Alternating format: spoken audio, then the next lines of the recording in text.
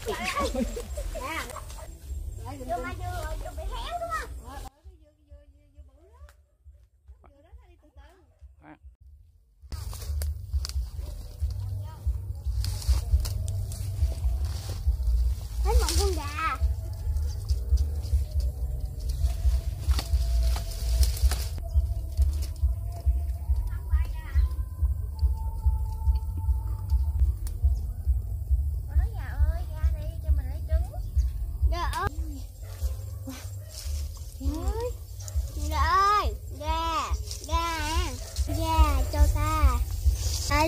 không phải làm gì hết. Mụn quả thôi. Nhưng mà gà.